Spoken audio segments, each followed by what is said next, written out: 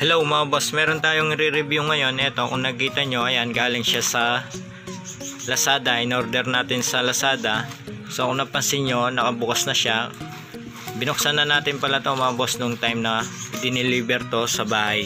Kasi nga, para matignan natin kung tama ba yung in-order natin. So ngayon, ang gagawin natin, bubuksan na natin. Ilalabas na natin para makita nyo kung ano yung itsura niya. So gawin na natin. So kung nakikita nyo, ayan, meron siyang remote. So ito yung kanyang pinaka module. Ayan. Lalabas natin. Ayan, kung nakikita nyo, ganyan lang siya mga boss. Kung titignan nyo, ayan, ito yung pinaka module niya. So kung nakikita nyo, ayan, ganyan lang siya kaliit. Tapos meron siyang remote, tsaka mga wire na socket. So ang kagandahan pala nito, yun na nga, ayan, meron siyang USB, auxiliary, FM, Bluetooth, ayan. Pwede natin tong gawin pang convert sa mga ginagawa natin na Bluetooth speaker. Kasi mga boss, yung mga ibang Bluetooth speaker na ginagawa natin, minsan hindi natin nagagawa dahil nga ang problema nila yung ganitong board nila. Kung titingnan nyo kasi mga boss, kaya hindi na natin nai-repair to, yung mga pyesa niya masyado nang maliliit. Ayan, kung titignan nyo. Mahirapan na tayo mag-repair. Isa pa doon mga boss, wala tayong mahanap na pyesang ganyang kaliit. Kaya minsan kapag yung mga Bluetooth speaker na speaker natin, hindi na natin nagagawa dahil pahirapan sa pyesa. Pangalawa, masyado nang maliliit yung mga parts. So buti na lang mga boss, meron tayong nabibiling ganyan pwede natin gamitin to pang convert sa mga yun na nga bluetooth speaker na ginagawa natin. Alimbawa yung speaker bluetooth natin ang sira niya ay yung ganito. So pwede natin gamitin to bale mga boss. Pwede natin gamitin to pang convert sa mga bluetooth speaker. So ngayon ang gagawin natin papaanda rin natin to mga boss. Titingnan natin kung under siya. Kasi simula nung dumating to hindi pa natin na pandar so ngayon papanda rin natin. At ituturo ko sa inyo paano panda rin to. So gawin na natin so kung titignan nyo ito yung kanyang module board. Meron siyang socket dito na kulay red tsaka puti. Kung titignan natin yung wire natin kung titignan natin itong kulay white kung titignan nyo tatlo yung kanyang wire. So ito dalawa lang red and black. Yung tatlong wire dito yung dalawang wire dito So kung titignan nyo, ayan, ito yung kanyang red and black wire. So ito yung BCC niya. BCC means supply. Ayan. Kung titignan nyo, meron siyang nakasulat na BCC. Ito. Yan. Ayan siya. BCC. So, dyan tayo magtatap ng supply. So, bali yung kulay red, itong wire na kulay red na yan, ito yung kanyang BCC, positive supply tapos yung isa ground. So bali dito bago natin mapandar to mga boss gagamit tayo ng power supply na adapter. So ito siya. Ito yung ating gagamitin na pang power supply nya para mapapandar natin to. So kung nakikita nyo yung supply ng ating adapter ayan. Kung nakikita nyo 12 volts 1 ampere. So 12 volts yung gagamitin natin na pang supply dito sa ating bluetooth board. So ngayon gawin na natin. Lalagyan na natin siya ng supply. Ayan. So ito yung ating adapter. Ito yung gagamitin natin pang supply dito sa ating module board. Kung nakikita nyo itong dulo nitong ating power supply meron siyang socket. Ito kasing adapter na to mga boss kinuha lang natin sa mga gamit natin sa lights. So hindi natin pwedeng putulin to dahil nga yun na nga ginagamit ko to. So, ang gagawin natin, dito na muna natin ito tap. Yan, dyan muna natin itatap tong ating module Bluetooth. So, itong kulay red, itatap natin to sa positive. So, panigurado yung positive nitong ating adapter sa gitna. Ayan, ipapasok natin yan dyan. Pagkatapos, itong kulay black, ground. Yan. Itatap lang natin dito sa ground ng ating adapter. Hindi muna natin ipipix mga boss kasi nga pinapakita ko lang sa inyo paano paanda rin tong Bluetooth board. Ayan. Kung napapansin nyo, ayan. Ganyan siya. Isusum ko mga boss para mas makita nyo. Ayan, ganyan lang siya. Yung kulay red, pinasok natin sa gitna. Pagkatapos yung kulay black sa ground ng ating power supply adapter. Yan, ganyan lang siya. So after natin ma-tap yung kanyang BCC, yung red tsaka black dito sa adapter natin dito, i-plug natin. Titingnan natin kung under ba yung binili natin na Bluetooth board. So, gawin natin.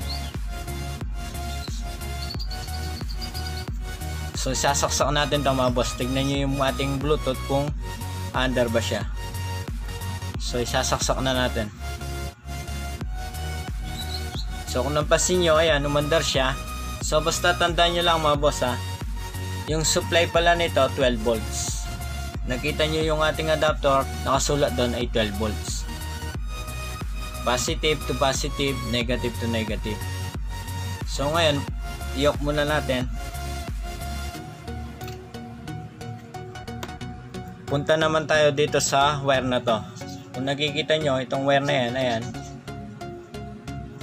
Tatlo siya. So, ito yung kanyang output na left and right.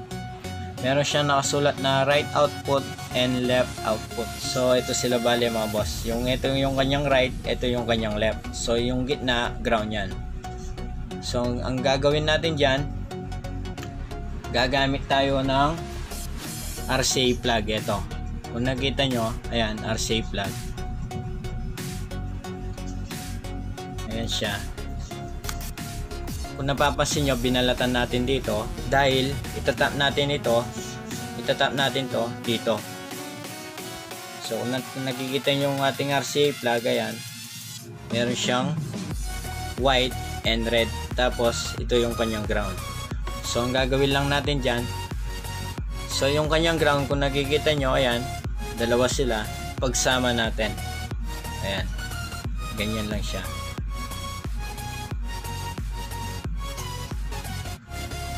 Ayan, kung nakita nyo mga boss, pinagsama natin yung kanyang ground. Bale, naging stereo siya. Ito yung left, ito yung right. Tapos ground. So, nakikita nyo, tatlo bali itong ating RCA plug na wire. Ayan, bali tatlo sila.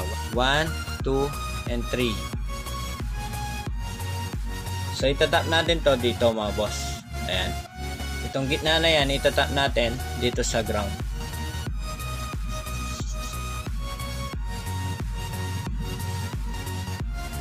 Pagkatapos natin may tap yung ground, itong nakikita yung left and right, itatap natin yan sa uh, left and right ng ating RCA plug.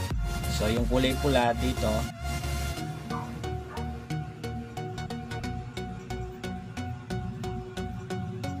pagkatapos yung kulay white dito naman sa kabila. Yan.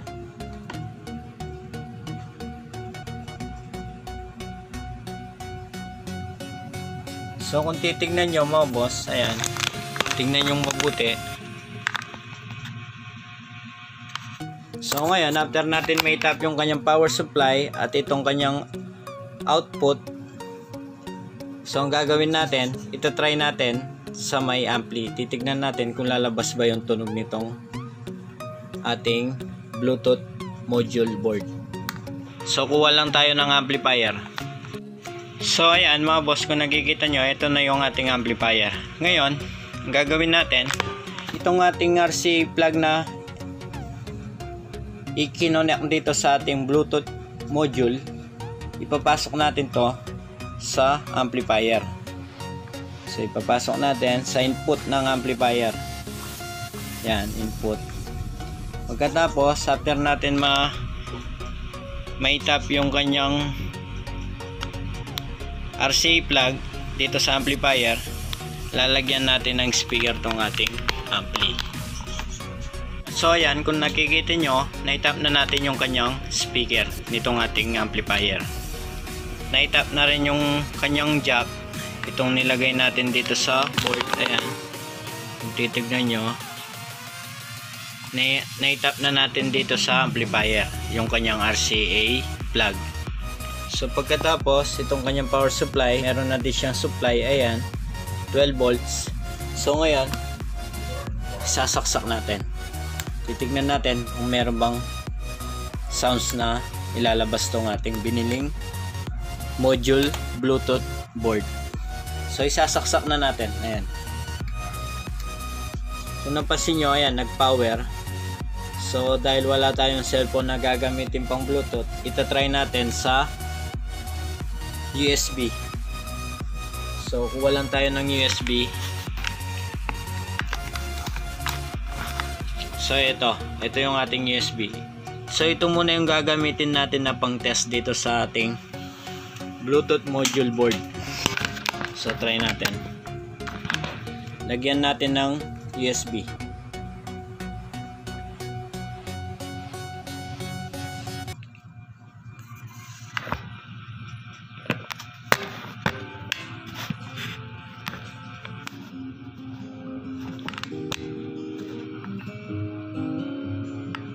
So ayan mga boss, kung napapansin nyo, ayan, umandar siya. At meron din siyang sounds. Ayan. So umandar siya mga boss. Ibig sabihin, itong ating in-order na Bluetooth board, walang problema. Ayan siya.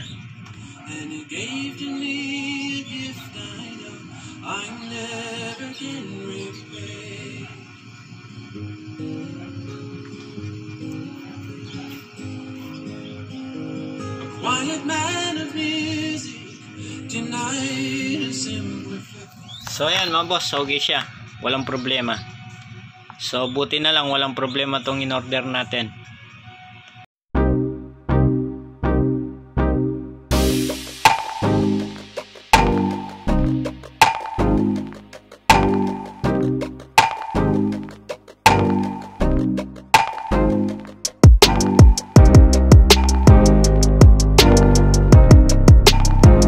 Nakita nyo, USB muna yung ginamit natin. Kasi sa Bluetooth niya, hindi natin mapandar kasi nga itong cellphone gamit natin sa pagbablog.